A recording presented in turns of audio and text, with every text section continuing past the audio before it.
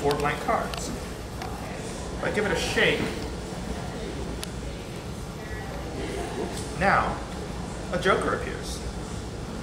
Three blanks and a joker. One, two, three, four. Joker second from the bottom.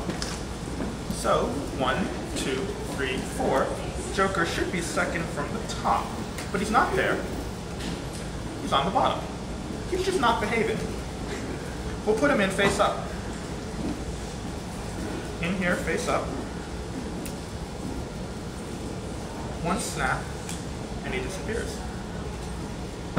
And you see, he's really gone, but with a shake, he comes back.